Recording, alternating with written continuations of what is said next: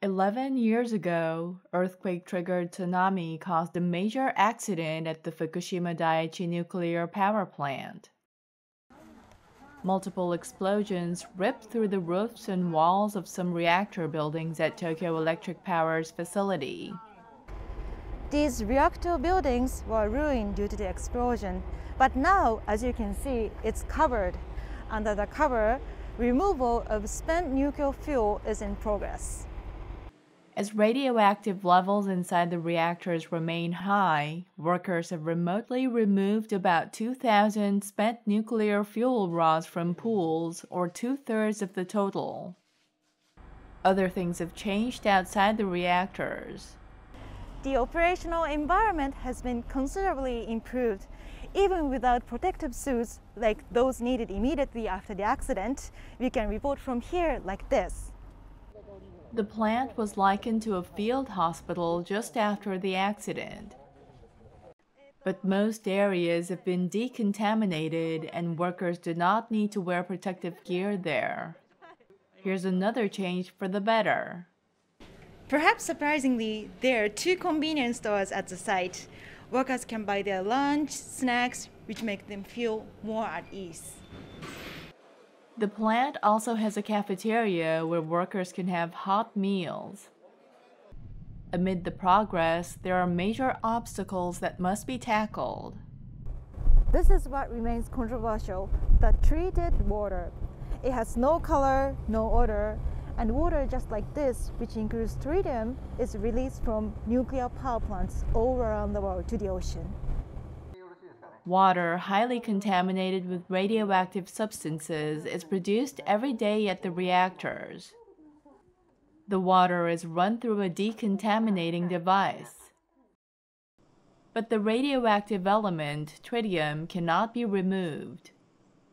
The treated water is accumulating in more than 1,000 storage tanks built on the plant, but space is running out.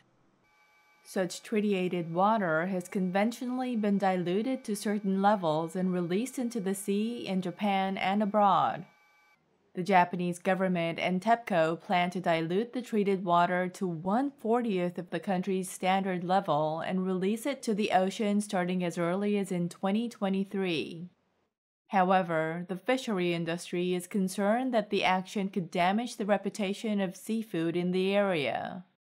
関係者の理解、国民の理解、ここが重要だと思います。正確でかつ分かりやすい情報発信が必要だと思います。処理水で今後お魚を飼うんですけどもその魚の安全性を証明したりとかやはり目に見える形での安全性の発信も大事だと思います。Another difficult issue is the removal of nuclear fuel debris. Finally, 11 years after the accident, the trial removal of fuel debris will start this year. The amount of debris or melted nuclear fuel in the reactors is estimated to total 880 tons. TEPCO has been remotely surveying the interior of the reactors. Officials plan to use a robot arm to collect several grams of debris from the number 2 reactor this year. The sample is expected to help come up with ways to remove the massive amounts of remaining debris. One of the people involved in the debris removal project is a 20 year old TEPCO employee who is from Fukushima Prefecture. 今後採用10年という長い戦いになっていくので、まあ、自分が先頭に立つような存在となって、えーまあ、廃炉に、まあ、関わっていきたいと思います。Nemoto joined TEPCO two years ago.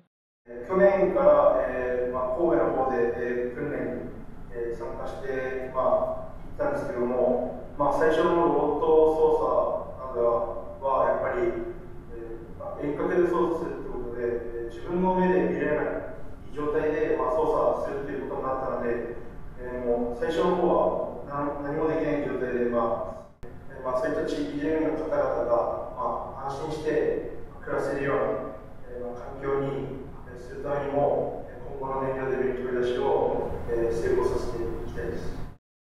The road toward decommissioning is expected to be long and harsh, but things are moving forward.